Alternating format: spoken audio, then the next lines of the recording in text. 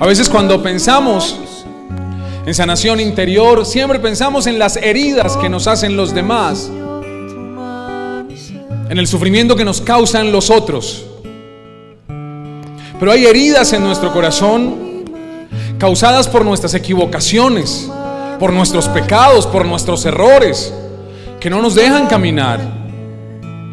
Hay situaciones en nuestra vida donde, donde no son los otros los que se han equivocado, donde hemos sido nosotros los que, los que hemos escogido el camino incorrecto. No solo nos han hecho daño, nosotros también hemos hecho daño. También nosotros hemos causado heridas en muchas personas. También nosotros hemos hecho daño. También hemos hecho sufrir. Hoy le decimos al Señor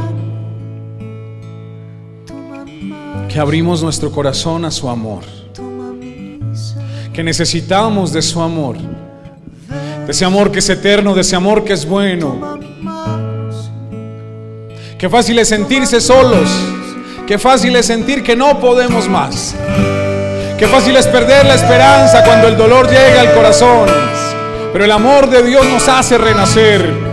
El amor de Dios nos levanta. El amor de Dios permite que la historia empiece de nuevo. Señor, hemos venido a este retiro a recibir tu amor.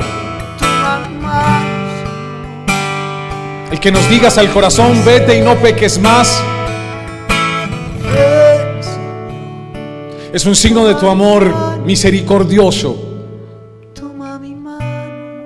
Señor, derrama tu amor en nuestros corazones. Tómanos de la mano, Jesús. Ven, Señor, con tu gracia y con tu amor. Hay dolores que solo el amor de Dios puede sanar. Hay tristezas que solo el amor de Dios puede sanar. Hay pecados que solo el amor de Dios puede rescatar. Hay realidades en nuestra vida que solo el amor tierno del cielo puede renovar y transformar. Que tu amor, Señor, que tu amor, que tu amor que nos perdona. Hoy reconocemos nuestra debilidad. David. Ten compasión de nosotros, misericordia, Señor. Míranos con ojos de bondad. Derrama tu amor, Jesús. Toma mi mano, Señor. Toma mi ser. Ven, Señor. Toma mi mano, Señor. Toma mi mano, Señor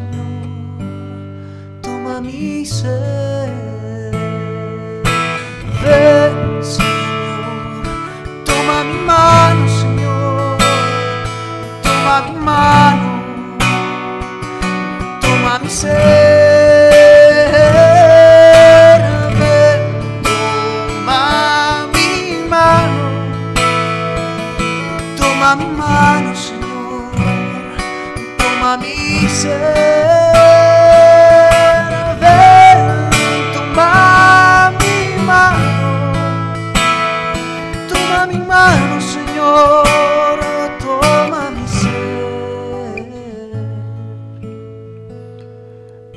Sueltes, Señor.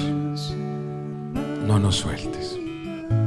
Que el amor de Dios nos recuerde en esta mañana que en Él siempre, siempre, siempre podemos empezar de nuevo. Alégrate María, llena eres de gracia, el Señor es contigo. Bendita tú eres entre todas las mujeres y bendito es el fruto de tu vientre, Jesús. Santa María, Madre de Dios, ruega por nosotros los pecadores, ahora y en la hora de nuestra muerte. Amén. Amén.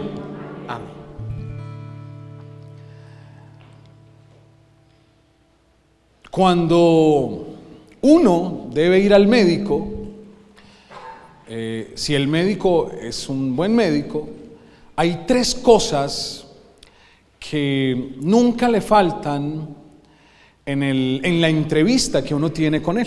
Es decir, hay tres cosas que el médico siempre le dice a uno, si es un buen médico. Seguramente todos eh, hemos tenido la experiencia de tener un buen médico que nos, que nos atiende y siempre dicen más o menos, con distintas palabras, pero hay tres ideas que se repiten constantemente. Ustedes, la mayoría están muy jóvenes, todos están muy jovencitos, jovencitas, pero seguramente han ido al médico y por eso saben de lo que les estoy hablando. Lo primero que el médico, cuando uno llega con un dolor y le dice, doctor, mire, yo tengo una molestia, yo tengo una dificultad, lo primero que el médico dice, bueno, entonces hay que hacer exámenes. Paso número uno de un buen médico. A uno le dice, vamos a hacer exámenes. Para ese mareo, para ese dolor, le vamos a mandar esos exámenes y después nos, vol- nos volvemos a ver, a ver qué resultado arrojaron esos exámenes. Lo segundo que le dice a uno es, bueno, vea padre, además de los exámenes, yo lo estoy viendo como repuestico. Segura, ese mareo que usted siente, hombre, no es normal. Eh, Quiere decir que, que usted va mucho a la vereda y le dan mucha fritanga. Entonces, padre, a mí me da pena, pero, pero hay que revisar su alimentación. Entonces, segunda recomendación de un médico es coma menos coma menos. Usted, yo lo veo que no, esto lo que usted me está contando es que no, usted su alimentación, hay que alimentarse bien. Y, el tercer elemento que no falta elemento, el primero es, "Ey, hagamos examen, exámenes, a ver qué es lo que pasa. Y segundo, coma menos, coma menos. Y tercero, un buen médico le dice a uno, padre, y, y camine un poquito más. No siempre tiene que usar el ascensor, puede usar las escaleras. Es decir, hay que, hay que, hay que hacer deporte. Yo no le estoy diciendo que se vaya para un gimnasio, padre, pero al menos media horita, todos los días. Y con esas tres cosas, por lo menos con el diagnóstico, comiendo menos y caminando más, uno sale aburrido del médico, pero con la esperanza de que se va a aliviar. Pues espiritualmente la cosa funciona más o menos así.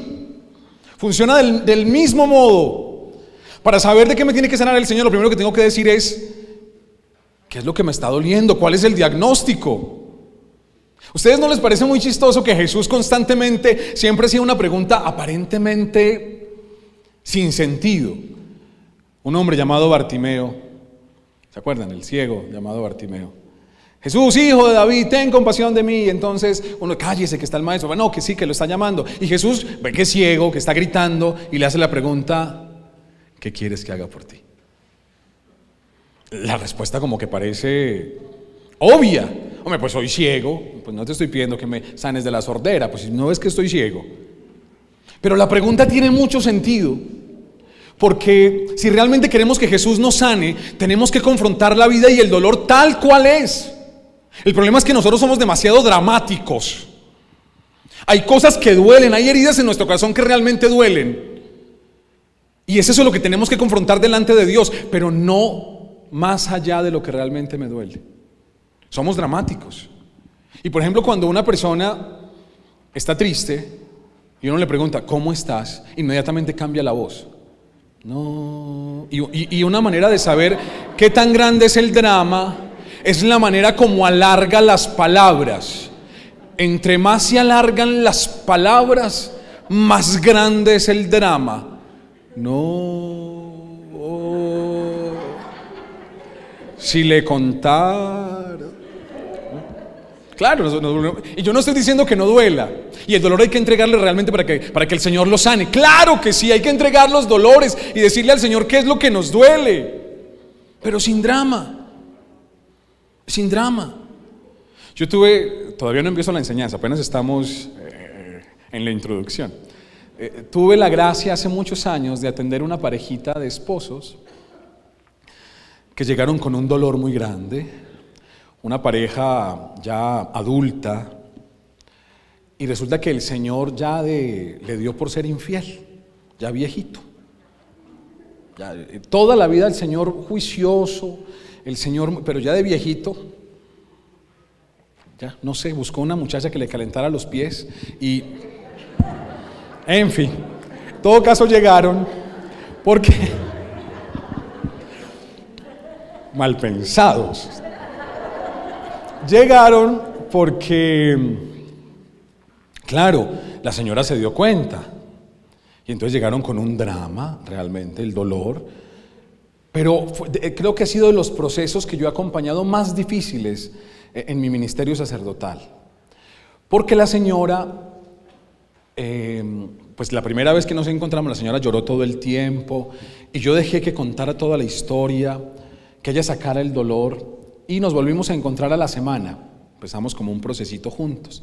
Pero a la semana la señora llegó normal y de pronto yo les hice alguna pregunta y de pronto la señora estaba hablando normal y empezaba a llorar. Pero se calmaba muy rápido, no le salían lágrimas.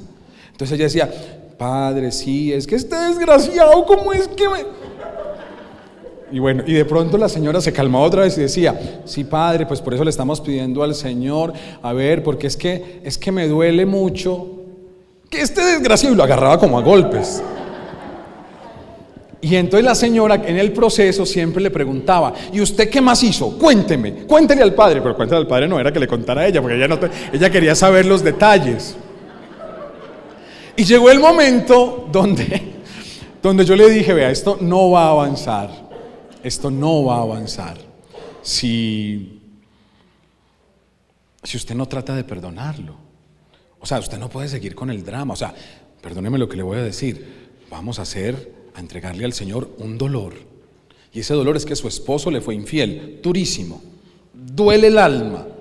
Basta, pero todo lo otro, usted ya está diciendo que vea, que seguramente con ella se gastó la prima, que con razón ya no le volvía a comprar ropa, y entonces le dice, ah, no sabía que estabas vendiendo. No, mentiras, no. Pero la señora se formó un drama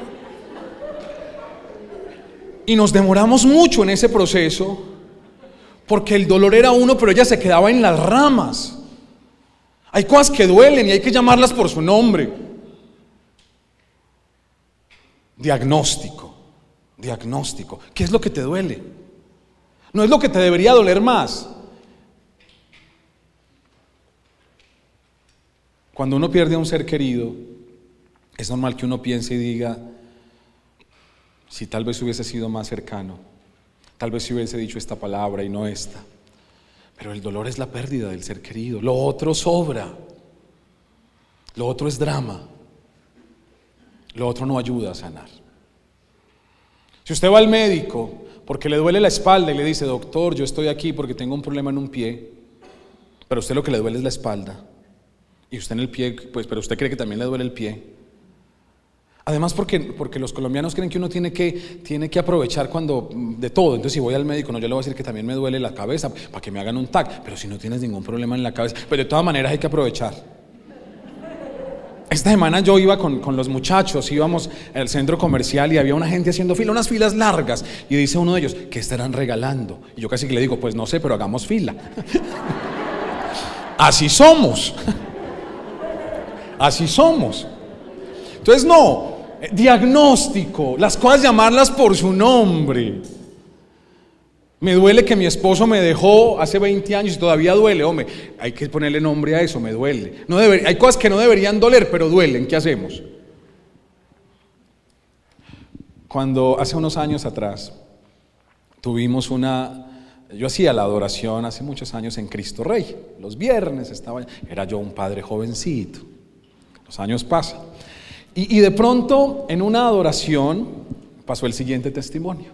Dos mujeres, yo no estaba presente, lo, lo escuché después, dos mujeres se encuentran en la puerta de Cristo Rey. Llevaban muchos años sin verse. Y la una le dice a la otra, oye, ¿cómo estás? ¿Qué hay de tu esposo? Y la amiga le dice, no, yo me separé hace unos años. Yo me separé hace unos años. Pero sabes que no me duele. Desde ahí estoy supremamente feliz. Lo mejor que le pasó a mi vida ha sido divorciarme. Fin de la conversación. Bueno, bueno verte, chao. Se fueron a orar. Ese día en la adoración, yo sin saberlo, no había escuchado la conversación de la entrada, le dije, decíamos al Señor, Señor, te entregamos nuestros dolores, incluso aquellos dolores que nos negamos a reconocer. Cuando nos deja el esposo, la pérdida. Yo no estaba pensando en la señora de la entrada, ese era el tema de ese día. Estábamos orando por los dolores que no reconocemos y porque hay cosas que duelen y al final de la adoración aquella mujer se me acercó y me dijo, Padre, ¿usted dónde estaba en la puerta? Y, y yo le dije, ¿en cuál puerta? Padre, es que usted me tuvo que haber escuchado. Yo le dije hoy, le dije a mi amiga, a una amiga, que me divorcié hace unos años y que no había sido tan feliz desde ese día, pero no es cierto. A mí el alma me ha dolido todos estos años. Y hoy en esta adoración he tenido que reconocer mi dolor. Entonces el otro extremo, un extremo es el drama. Somos dramáticos. Uno sabe que empieza también, los años lo vuelven a uno más dramático. Las mamás en las casas la mamá empieza a envejecerse y se vuelve dramática cuando empieza a decir, un día de estos me les voy a perder. Y más dramática cuando dice, yo ya estuve averiguando en un ancianato. Eso es el drama, ¿no? El drama. Somos dramáticos. Pero el otro extremo es que a veces nos negamos los dolores que tenemos en el corazón. Insisto, hay cosas que no deberían estar ahí, pero están. Hay cosas que no deberían doler, pero duelen. Sin drama, pero hay que reconocer con humildad. Me duele, me duele. El otro día atendía a una mujer ancianita, como, y, me pareció curioso porque ella dijo, padre, yo me quiero confesar. Eh, la señora de unos 90 años, más o menos, o sea, una ruguita más y queda ciega. Mentiras, no, no. no. Una señora ya avanzada en edad. Y de pronto ya ella me dice, empezó la confesión diciendo, mire padre, ese cuando yo tenía 20 años, y yo miré el reloj y dije, ¿cuánto tiempo tengo? Porque es que si esta tendrá 90 y va a empezar en los 20, son 70 años de historia. Todo va a estar largo. Pero, pero no, la señora muy bellamente había entendido que por 70 años ella se había negado un dolor. Ella tuvo un novio y ese novio, los papás no le dejaron tener una relación con ese novio y ese novio se le murió. Y, ella no pudo hacer como el duelo, nunca lloró y al final de su vida ella todavía le dolía eso. Y en esa confesión bellamente ya había entendido que si no reconocía ese dolor, pues iba a seguir y, que era el momento de, de entregarlo. Yo le dije, lleva 70 años con ese dolor y no es justo contigo, no es justo. Entonces, los dos extremos, mucho drama o negar el dolor. Si te duele, duele. 10 de la noche, todos están durmiendo. Usted tiene sed, va a la cocina, no alcanza a ponerse las chanclas o arrastraderas, no sé cómo le dirán en México, que nos ven tanto como le digan, pero no alcanza a ponerse zapatos. Y entonces va descalzo a la cocina, va caminando. Y su esposo esa noche dejó la silla mecedora mal parqueada entre su habitación y la cocina y usted va caminando. Y el dedo pequeñito del pie fue creado ergonómicamente, creado ergonómicamente para golpear objetos no identificados. Y cuando usted va caminando y de pronto siente y manda el paso con fuerza y el dedito ergonómicamente creado para esa silla, rosa la mecedora, usted siente que se está muriendo si tuviera el cura cerquita, decía, tráiganme los santos óleos que me morí. Es un dolor que no la va a matar, que no lo va a matar, pero que se experimenta al máximo. Duele. Y seguramente usted en ese momento invoca el nombre del Señor. Porque le dolió. Lo que duele, duele. ¿Qué hacemos? Duele, pero sin más allá del dramatismo. Entonces, primer punto en un proceso de, de confrontación de vida delante de Dios es diagnóstico. Sea sincero.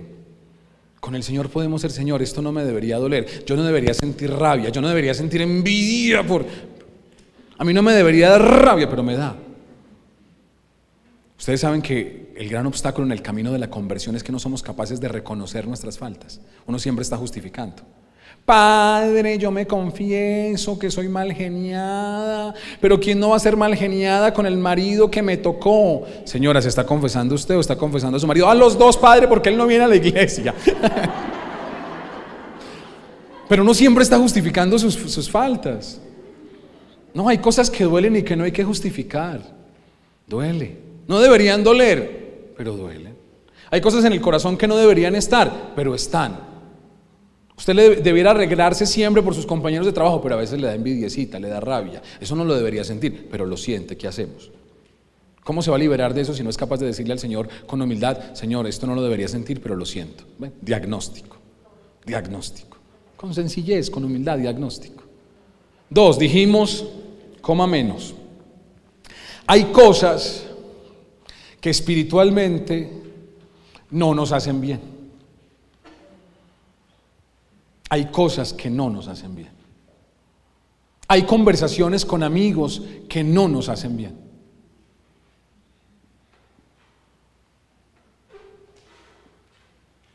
Hay conversaciones, en esto quiero insistir, que uno no debería tener con cualquier persona. Es curioso. Nosotros, para los que nos están siguiendo, en esta región del país donde vivimos, la gente es comunicativa espontáneamente. Entonces, si yo tomo un autobús ahora de esta ciudad que se llama Manizales y me voy a una ciudad que está cerca, que se llama Pereira, y me voy así vestido de negro, de padrecito, y me siento, seguramente al lado viene una señora, la señora me dice, por poner conversación, primero pregunta, padre, ¿qué hora es? Ah, está hora. Padre, ¿y, ¿y usted es de Pereira o de Manizales? No, yo soy de Manizales. Ah, yo también. Voy a visitar a una hija Pereira, padre, si usted supiera. Ay, esa hija me hace sufrir. Vive en unión libre, padre. todos en el bus, claro, todo el mundo para, las, todo para, para lo que están haciendo para escuchar la historia de la señora que me está contando. Padre, si usted supiera, es que es una hija no muy grosera, tiene dos niños, no, a uno ni lo ha bautizado, padre, usted qué me aconseja, y en menos de de 10 minutos, o sea, no hemos salido todavía de Manizales, yo ya conozco la historia de la señora. Porque tenemos la capacidad de comunicar, y yo no estoy diciendo que sea algo malo, pero no a todo el mundo hay que entregarle lo que sentimos. Y a veces le contamos a todo el mundo, vamos a los dos extremos también, o le contamos a todo el mundo o no se lo contamos a nadie. Mi consejo es, hay que contárselo al que realmente puede hacer algo, a Jesús. Entonces hay cosas que hacemos que deberíamos hacer menos. Cuando uno siempre se está quejando, desde que se levanta hasta que se acuesta se está quejando, la vida empieza a ser un infierno. Créame, yo sé que hay cosas que cuestan, pero el quejarse todo el día no le va a ayudar. Yo diría, coma menos es quejese menos y agradezca más. Yo sé que en Villaquempis hace frío, claro, Aquí has visto ustedes, y los que son de Manizales, excuso a los que son de Bogotá que no sabían. Saludamos a los, vinieron unos hermanos desde Bogotá solo a este retiro. Pero los demás que son de aquí saben, y si usted se vino sin, sin, sin un saquito que, que le... Hombre, mm, la culpa no es mía. Ay, es que cómo se les ocurre hacer eso en Villakempis, en ese, eso era tan frío. Si estuviera haciendo calor, no, es que vea qué calor, va a temblar.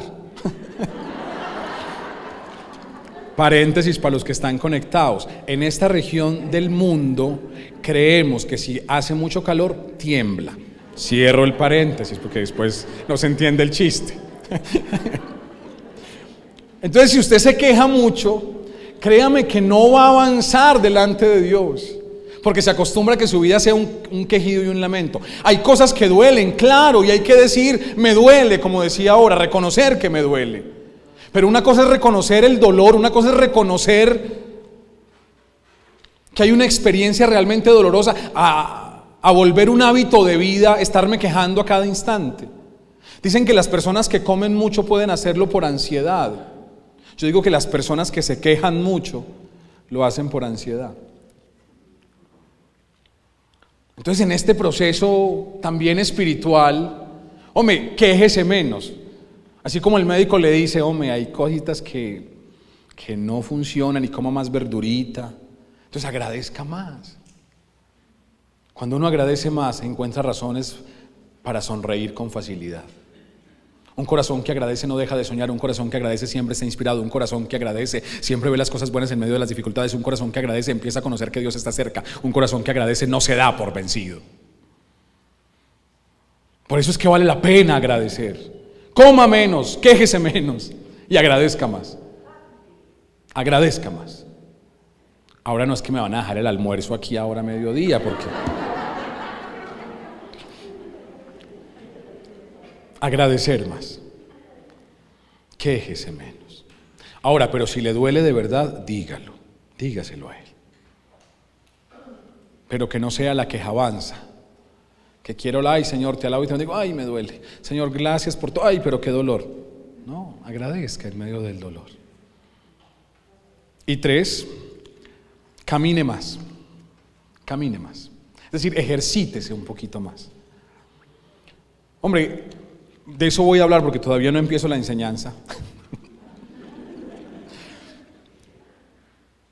La mejor manera, Dios puede hacerlo ya, es Dios. Y mi Dios dice, hombre, queda sano. Y ya uno queda sano, porque es Dios. Pero a mi Dios le gustan los procesos. Y entonces hay que creerle a Dios y hay que perseverar en la oración. Hay que perseverar. Señor, aquí estoy. Que sea como tú quieres. Aquí estoy. Pero orar, orar más, ejercitar el espíritu. Porque si no, nuestra fe queda demasiado interesada. Solo lo buscamos cuando tenemos dificultades o cuando tenemos problemas. No. Nos ejercitamos, oramos en todo momento, en todo tiempo, alabamos y bendecimos y glorificamos al Señor. En todo tiempo nos damos cuenta que con Él, con Él, la vida es distinta, que lo necesitamos a Él. Por eso oramos, por eso vamos a la Eucaristía, por eso nos confesamos, por eso estamos cerca de Él, no por el interés, sino porque sabemos que Él es lo mejor que le ha pasado a nuestra vida y a nuestra existencia. Lo digo despacio. Hay que ejercitarse espiritualmente. Y el principal ejercicio es la oración. Si yo les preguntara a ustedes, ¿ustedes están convencidos que Dios puede hacer la diferencia, que Dios puede hacer milagros, que Dios está vivo y que si le pedimos con fe Él nos responde? ¿Ustedes lo creen? De verdad que si oramos juntos y pedimos, el Señor nos escucha. Entonces, ¿por qué no oran más? No, pues si lo creemos. Entonces hay que, claro, uno se dice, no, yo sí quiero caminar más, yo sí voy este año, sí voy a hacer más de que va. Es una cosa de corazón. Por eso Ignacio de Loyola siempre decía, Señor, afecta mi corazón.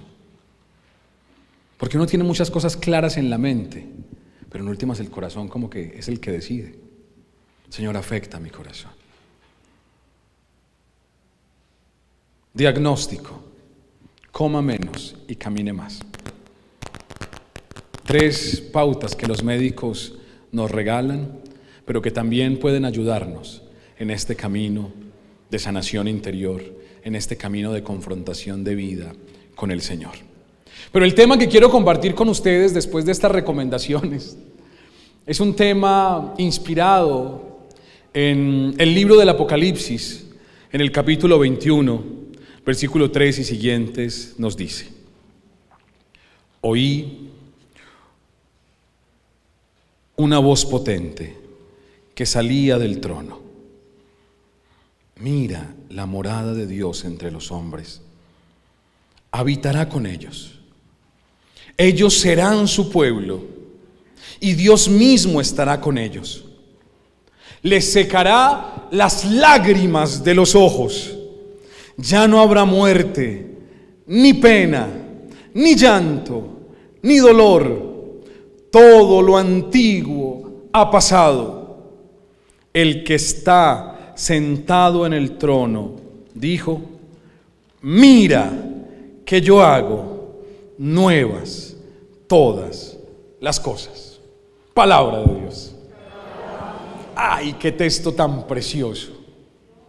Y mira que yo hago nuevas todas las cosas. Es este entonces el nombre de esta enseñanza que yo quiero compartir con ustedes en este día. Que yo hago nuevas todas las cosas. Y quisiera iniciar con un pequeño testimonio que puede iluminar esto de cómo Dios hace nuevas todas las cosas. En X parroquia donde teníamos la adoración todos los jueves, la única parroquia donde he sido párroco. No voy a decir el nombre por no faltar, porque es secreto. y de, de, pronto los jueves estábamos ahí en la adoración, orando juntos. Y de pronto había una jovencita muy bien arreglada, que siempre se hacía en la parte de atrás y, la escuchábamos llorar cada semana. Y yo veía que ella como que al finalizar la adoración, ella quería como acercarse, como, como tal vez hablar conmigo, pero, pero como que iba con el impulso y yo veía que después se devolvía. Así cada semana, durante un tiempo. Después de, de varios meses, aquella mujercita tuvo la valentía, la valentía de acercarse. Me dijo, padre, hace un par de meses yo vengo a esta oración y usted ve que siempre me hacía en la parte de atrás. Ese día fue distinto, se hizo en la parte de adelante. Y me dijo, y hace muchos días he querido venir a hablar con usted, pero no me atrevía. Hoy, no sé qué pasó, hoy es un día distinto. Y quiero contarle por qué. Padre, yo desde hace un par de años me dedico a la prostitución. Soy lo que dicen una mujer prepago. Era una mujer muy linda. Y de pronto un día pasé por esta parroquia, por esta iglesia, y, estaban rezando y yo quise entrar. A mí nadie me invitó. Y yo entré y, y empezaron a orar y, y me pareció bonito, pero me sentía tan indigna. Me sentía tan pecadora, me sentía tan tan no lo merezco. Sin embargo, seguí viniendo. Cada semana, aún en medio del pecado, seguía haciendo lo que seguía haciendo. Y por eso siempre me hacía en la parte de atrás. Pero, pero algo me hacía venir cada semana hace ocho días. Oramos y usted dijo en medio de la adoración que el Señor hacía nuevas todas las cosas. Y entonces yo dije, y conmigo también. ¿Será que conmigo también, yo que he sido tan mala, será que conmigo también tiene misericordia? Y hace una semana yo le creí. Y salí diciéndole al Señor, Señor, si haces nuevas todas las cosas, hazme nueva a mí.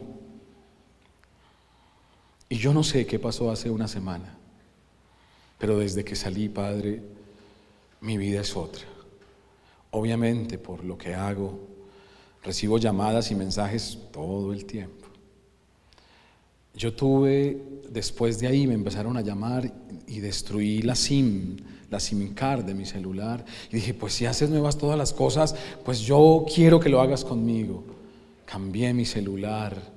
Llevo una semana con una vida, estoy empezando de nuevo. Al día siguiente busqué trabajo y me lo dieron.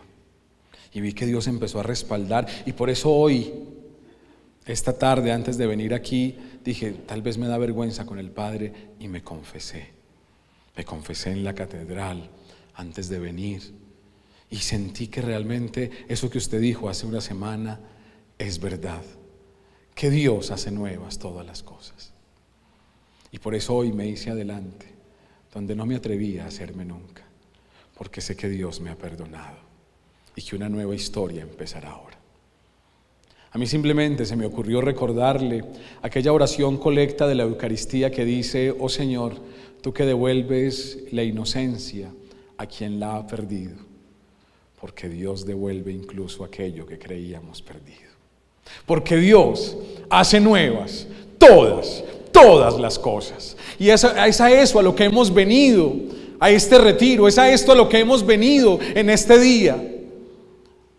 A tener claridad, a recordar que aquello que parece imposible de sanar, que aquello que parece imposible de superar, con Él, con su gracia, con su amor, con su ternura, es posible, pero a su manera. Tal vez tú ya lo crees, ya sabes que con Dios la diferencia está. Ya sabes que Él te escucha y que realmente puede sanarte, puede liberarte, que realmente con Él puedes empezar de nuevo. Ya lo tienes en la mente claro. Pero lo has intentado a tu manera y quieres que Dios lo haga a tu manera. Pues así no funciona. Es a su manera, como Él quiera, en su tiempo. Porque no exigimos. Es como su misericordia, su dulzura y su ternura quiera hacerlo. Permítanme entonces que como centro de esta enseñanza vamos al Evangelio y descubramos cómo hace Él nuevas todas las cosas del Evangelio de Marcos. En el capítulo 8, versículo 22 y siguientes, una historia preciosa que vale la pena ser contada en este día de retiro espiritual. Cuando llegaron a Bethsaida, le llevaron a un ciego y le pidieron que lo tocara. Qué introducción más bella. Hay un enfermito que es ciego. Y lo curioso es que el ciego no es el que está buscando a Jesús. Se lo llevan. Ven que por eso les decía que los procesos con Dios no son a nuestra manera. Son como Él quiera. Son como Él diga. Uno quisiera lo más fácil, llegué, me arrodillé y le dije, Señor, sáname, y me sanó. Pero en la historia de hoy, el ciego no va por iniciativa. Lo llevan. Y lo, y lo siguiente curioso, no dice el texto, se sobreentiende, claro, pero el texto no lo dice de manera directa, no dice, y se lo llevaron para que lo sanara. No. ¿Qué decía el texto? para que lo tocara. Se sobreentiende que si lo tocaba, pues se sanaba, ¿no? Es la conclusión. Pero ¿no les parece que el texto podía haber sido mucho más directo diciendo, le llevaron al ciego para que Jesús lo sanara? No. Pero el texto no dice eso. El texto dice que le llevaron a Jesús, le llevaron a Jesús a un ciego para que lo tocara. Se, puso de moda hace algunos años para acá en, corrientes espirituales que a veces uno tiene que llegar donde Jesús como a exigir. Señor, en el nombre poderoso tuyo, sáname de esta ceguera. Pero el Evangelio enseña de otra manera, con humildad, para que lo tocara. A tu manera, Jesús. Yo no estoy diciendo que no debe haber autoridad en las oraciones, seguramente. Pero a mí el Evangelio me enseña, el Evangelio me enseña que el camino es desde la sencillez, que el camino me enseña, que el camino es desde la humildad, es incluso dejarse llevar. Porque el ciego pudo haber dicho, porque no era sordo. Al ciego le dicen, oíste, viene Jesús. ¿Quién es ese hombre? No, Jesús, el hijo de David, el que estamos esperando. Vamos. Ah, yo no sé, con este día tan frío. Seguramente usted invitó a más de uno y le empezó a decir, ah, yo no sé, estoy en Villa María. Y mientras me cambio, voy.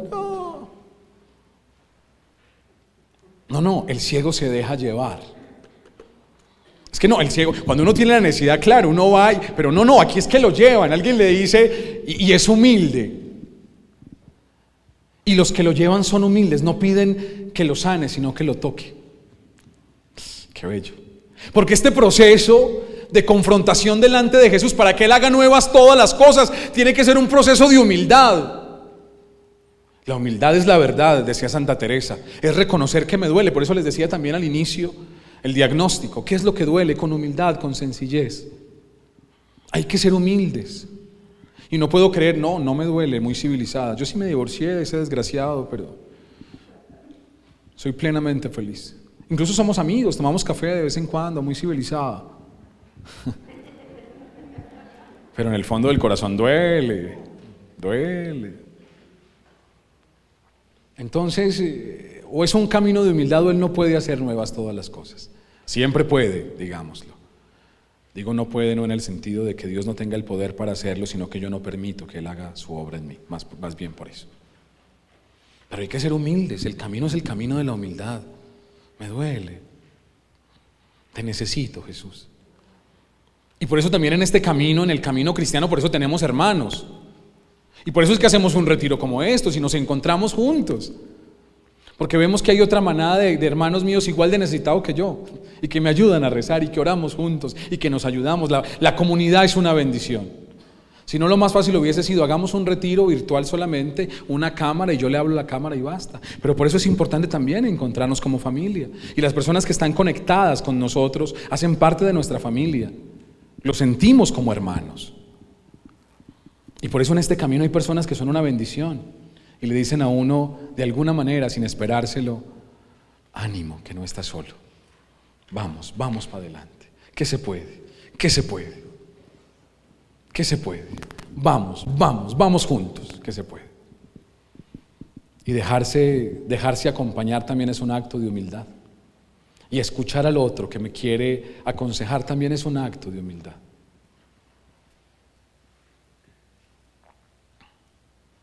Al padre Efraín lo corregían en la catedral después de celebrar la misa cuando era párroco de la catedral, porque no decía el excelentísimo, castísimo esposo de María San José. Él decía, y con María y su esposo San José.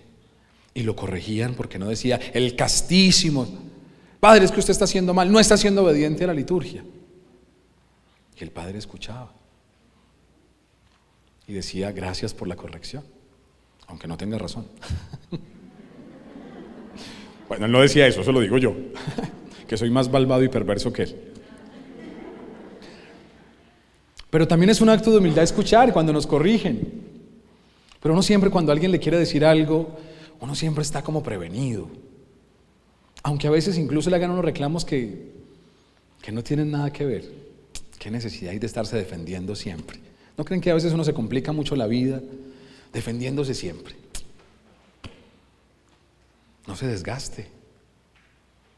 Que sea humilde. Ahora, humilde no es aguantar y aguantar todo tampoco. La humildad es la verdad. Es la verdad. Basta. Llegaron a Bethsaida, le llevaron a un ciego. No fue el ciego, es que se lo llevaron. Es que me encanta la historia porque, porque es que que fuera un paralítico uno dice, acuérdense, en Marcos 2 al paralítico se lo llevan, es normal que se lo lleven porque es paralítico, no podía ir, claro. ¿Cómo hacía pues? Pero es que este, este, este no es paralítico, este es ciego. Y el ciego puede hablar y se puede mover, no puede ver. Humildad. Pero la historia apenas está empezando, en el primer versículo tomando al ciego de la mano, lo sacó a las afueras del pueblo. Hombre, es, que por eso escogí esto de que Él hace nuevas todas las cosas, porque es que es distinto. Lo normal es que Jesús, cuando hay un enfermo, lo tocó o simplemente, a veces ni lo toca, simplemente dice, queda sano, y trin, eh, perdón, y, de una que... y, y quedaba sano. O sea, inmediatamente, o sea, la palabra del Señor. Pero a este no, es que este se lo llevan para que lo toque. ¿Y qué hace Jesús? Toma al ciego de la mano. ¡Ay, qué belleza! Le está diciendo, es que no está solo. Es que no está solo. Porque saben que los grandes dolores del corazón se acrecientan cuando uno siente que está solo. Las grandes crisis de fe se dan cuando hay un dolor y uno siente que Dios no lo escucha. Se siente solo. Esas son las grandes crisis de fe, porque se siente solo. No soy yo el ejemplo, absolutamente no. Pero créanme como testimonio que estos días que han sido difíciles para mi familia han sido llevaderos y llenos de consuelo porque no nos hemos sentido solos. Porque no nos hemos sentido solos. Nos duele la pérdida de mi mamá, claro que sí. El dolor es grande, inmenso. Pero cuando uno se siente acompañado primero por el cielo, pero que hay hermanos que oran por uno, que lo acompañan en este dolor, las fuerzas salen como gracia y misericordia de la ternura de Dios. Así que Jesús lo toma de la mano porque así empieza todo proceso de sanación. Es que no estás solo. Que es que no estás sola. Que a Dios le importa. Si a Dios, si a ti te duele, a Dios le importa. Si a ti te importa, a Dios le importa. Porque Él nos acompaña, porque es el, el que siempre quiere caminar con nosotros. Y aunque a veces en muchas noches de soledad pareciera que lloras y que gritas y que el cielo no escucha, no es cierto. El cielo siempre escucha. Porque a veces la mejor manera de estar presente es haciendo silencio. El silencio también hace parte de la compañía. Y a veces Dios guarda silencio para que puedas expresar todo tu dolor, para que puedas sacar toda tu tristeza, para que puedas sacar toda tu rabia. Y no te interrumpe. Pero no porque no está, sino porque la mejor manera de amarte en ese instante es guardando silencio. El cielo también guarda silencio, pero no es signo de que no te escuche. El cielo guarda silencio porque a veces es la mejor manera de decirte te amo. Que nos lleva de la mano, que nos lleva de la mano, que no estamos solos. Empezamos con humildad, reconociendo que nos duele, que hay cosas que en el corazón no están bien. Y su respuesta ante la oración humilde es que nos toma de la mano. Lo que nos decía Efra esta mañana bellamente, vete y no peques más, que yo tampoco te condeno, que yo no te condeno. Dame tu mano. Tomando al ciego de la mano, lo sacó a las afueras del pueblo. Curioso que se lo lleva a solas, a la intimidad. Se lo lleva a las afueras, donde hay paz, donde solo están ellos dos. O tal vez no faltan un dos o tres que llevaban al ciego detrás, claro. De cuánto nos lo deja por ahí tirado después se nos pierde. ¿Qué le decimos a la mamá del ciego? Pero se lo lleva se lo lleva a un momento de intimidad, a un encuentro, a un encuentro de amor. Después de que sabemos que Jesús nos toma de la mano, Él quiere encontrarse con nosotros. Él nos invita a que nos encontremos con Él.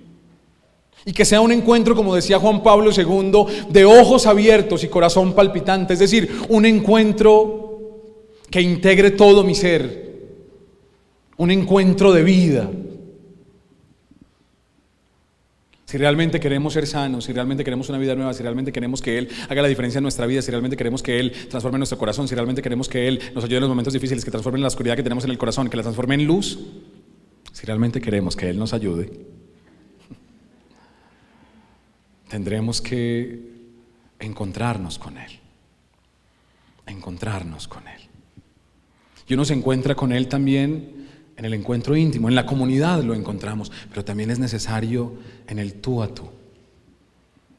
Por eso les decía hace un rato, hay que contarle a Jesús qué es lo que nos duele, pero a Él, al que realmente puede hacer algo, contárselo a Él y decirle con toda honestidad, Señor, me duele, me duele, no me debería doler, pero me duele. Tengo el corazón encogido y se vale, se vale, se vale, se vale, pero que se lo digas a Él. Basta de quejarte a solas, basta de quejarte con tu familia, con tus amigos, basta de guardártelo todo. Cuéntaselo a Él, a Jesús. Encuéntrate con Él. A Él es el que hay que contarle nuestras tristezas. A Él es el que hay que contarle nuestras luchas. A Él es el al, al que tenemos que contarle lo que pasa en nuestro corazón y en nuestra historia. Él nos invita a que caminemos con Él. Y caminamos con Él en la perseverancia. El amor no se mide por actos heroicos. El amor se mide por la perseverancia. Perdona a las personas que están conectadas. Algunos de ustedes llegaron hoy por primera vez y están haciendo un acto heroico. Están conectados todo el día en este retiro desde la casa. Ese es un acto heroico. Pero el amor no se mide por ese acto heroico. El amor al canal se mide si todos los días se conecta con nosotros a las 3 de la tarde en la coronilla.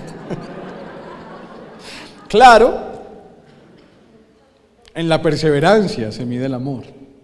El encuentro se mide ahí, en la capacidad de perseverar en la capacidad de perseverar todos los días. Los amores no se miden por actos heroicos. El encuentro se mide por la perseverancia. Ese es el amor verdadero. Porque los esposos realmente uno sabe que se aman, aunque al final él le dice, la parejita de, esposos, ¿no? Y él le dice a ella, sí, mi amor, claro que sí, preciosa, tienen 50 años de casados. Claro que sí, dulzura. Dice, eh, ¿y usted por qué trata tan bien a su esposa? No, es que no me acuerdo cómo se llama.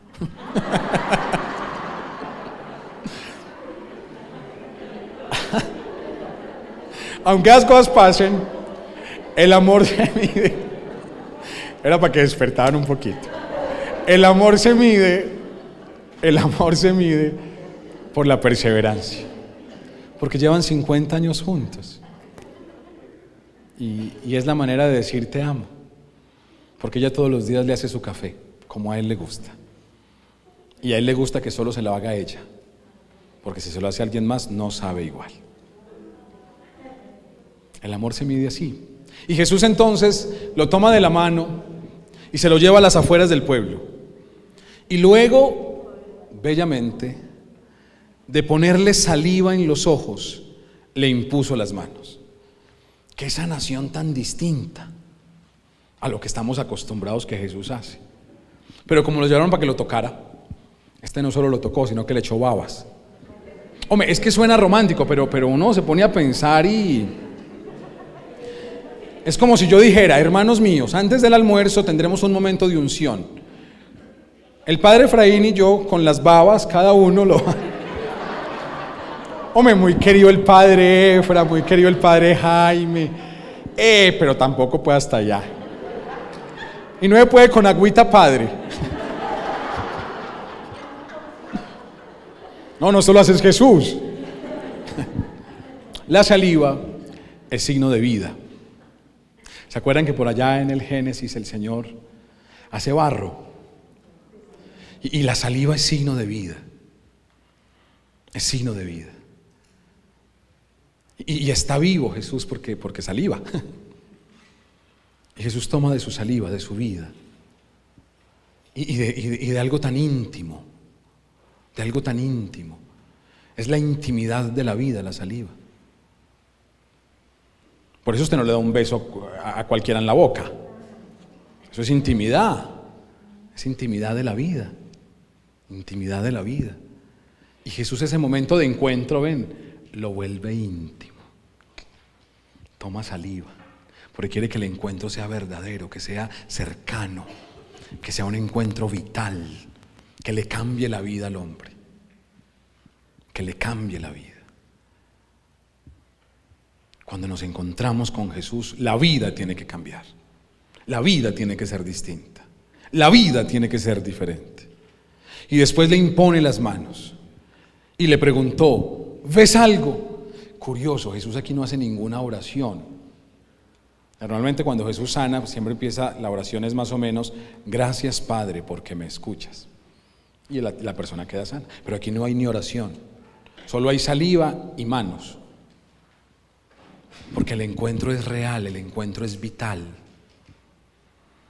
Y le hace una pregunta, ¿ves algo? El ciego que iba recobrando la vista dijo, veo hombres, los veo como árboles, pero que caminan. ¿Ven que el ciego no se sanó de una vez? Es que por eso es que así es que él hace nuevas todas las cosas, en proceso. Jesús le hace una pregunta muy bella. La pregunta es, ¿ves algo? ¿Ves algo?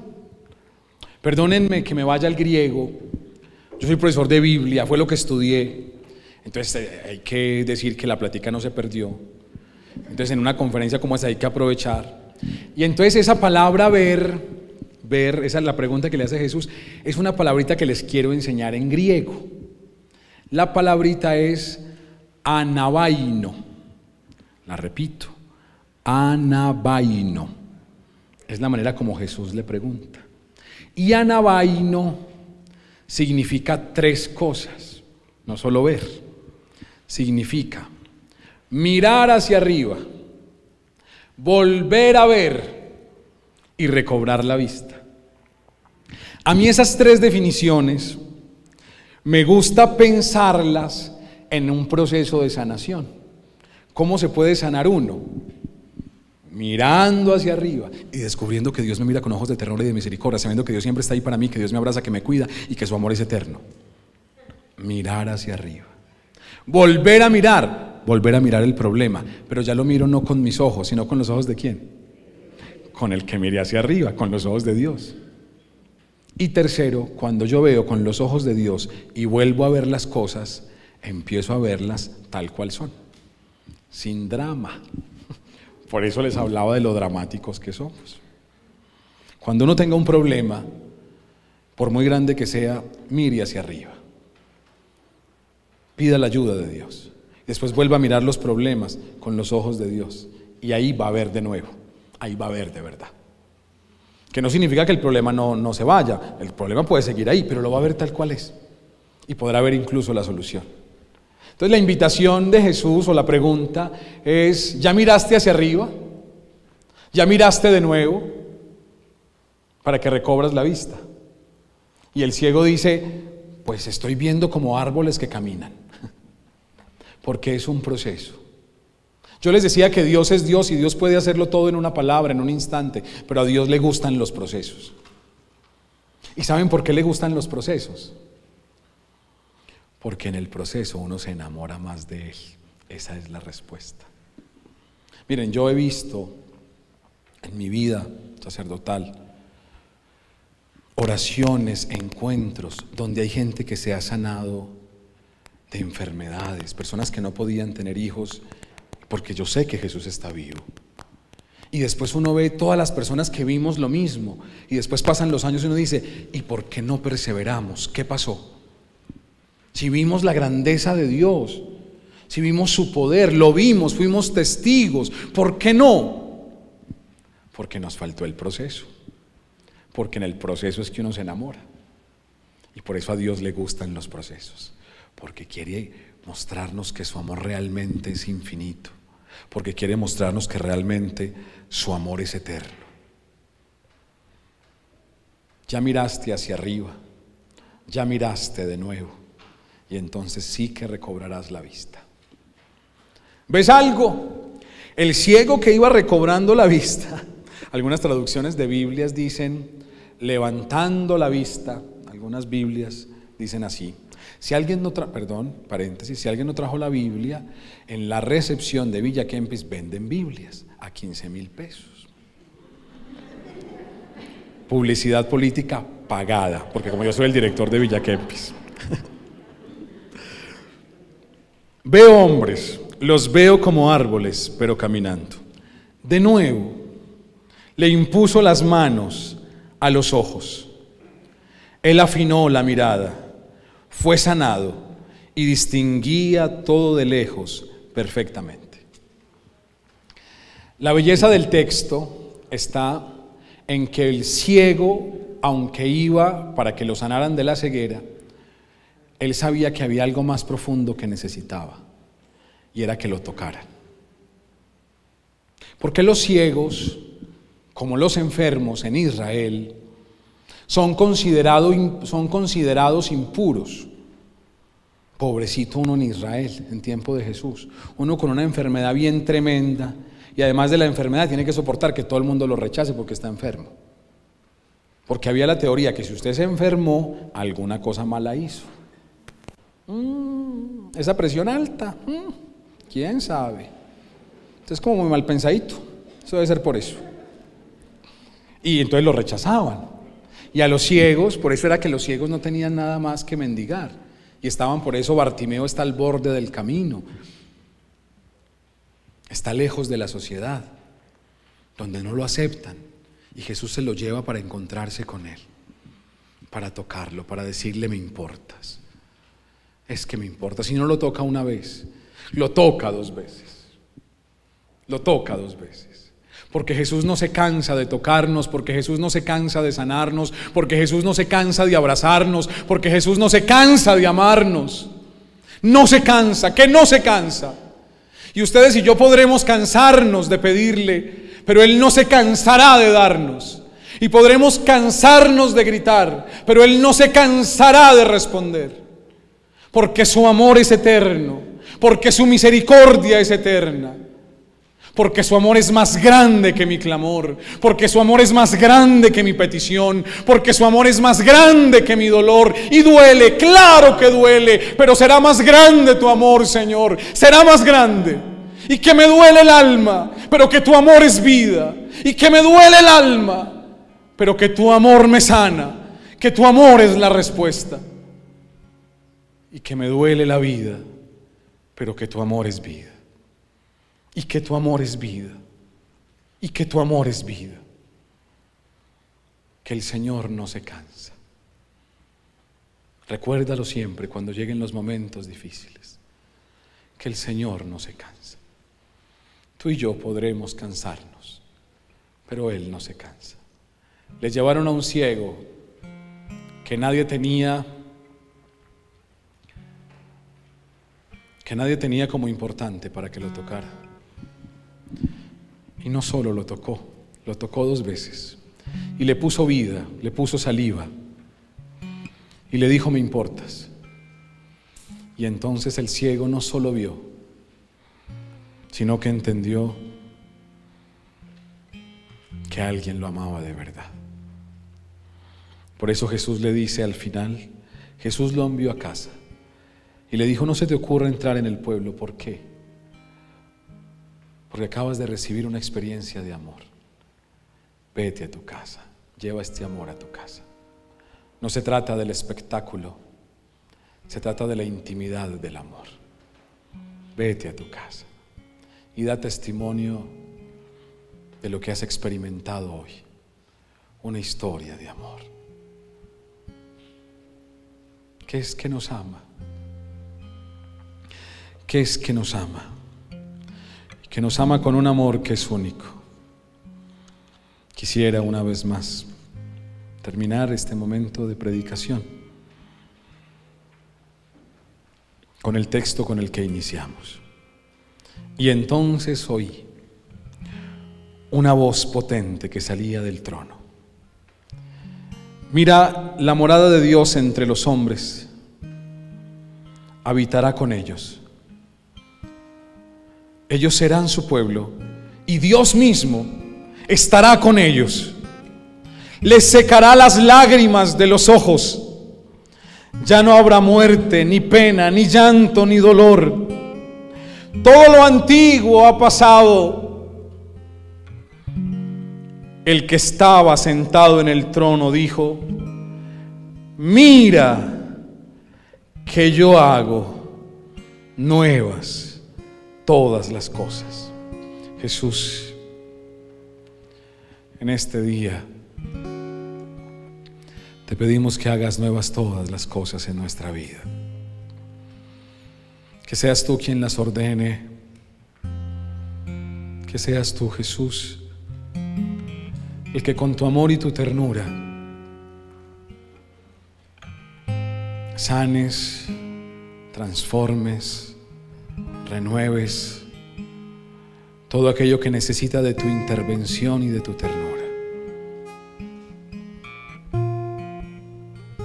Porque es que tu amor, Señor, que tu amor es eterno. Porque tu amor es eterno. Regálanos una experiencia de tu amor, Jesús. De ese amor del bueno. Ese amor que es dulce. De ese amor que es santo y perfecto. Que tu amor, Señor, nos auxilie. Ese amor, ese amor que no cansa.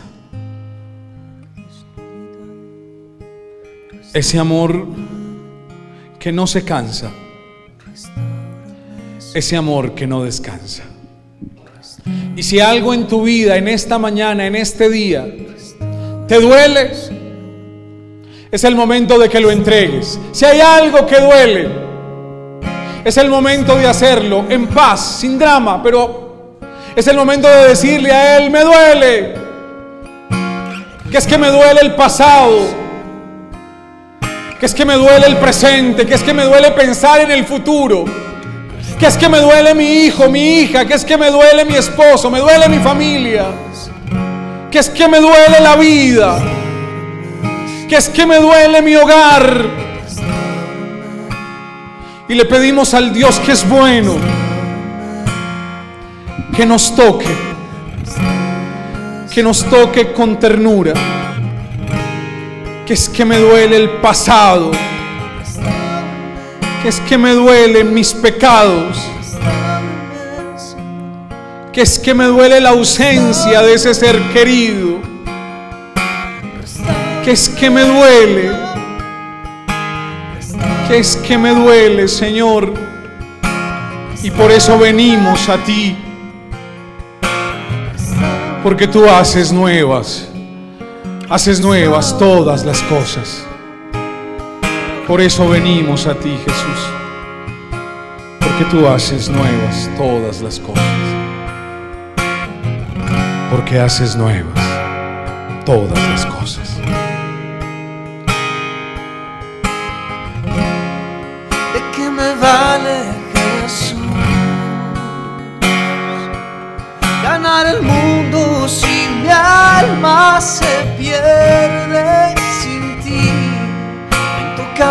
Corazón. Rompe en pedazos mi barro y restaurame hoy. Un vaso nuevo seré. si me construye tu amor. En el silencio te abro mi corazón, tu espíritu te cante una nueva canción.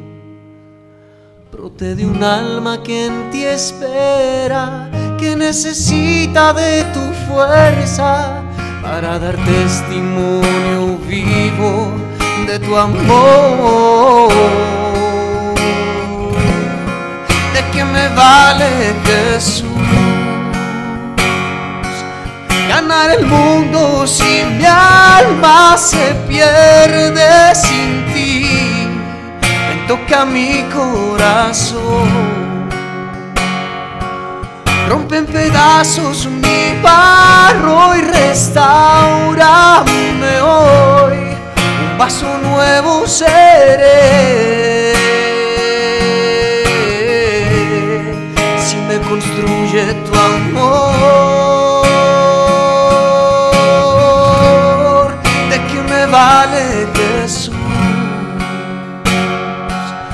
Ganar el mundo si mi alma se pierde sin ti y si no miro tu cruz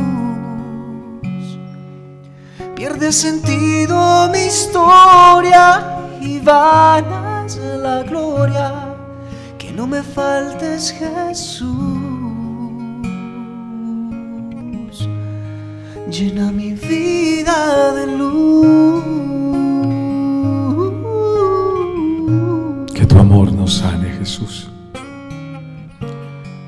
tu amor restaure nuestro corazón. Un amor mujer que se dedicaba a la prostitución, un día entendió que Dios hace nuevas todas las cosas y su vida fue otra.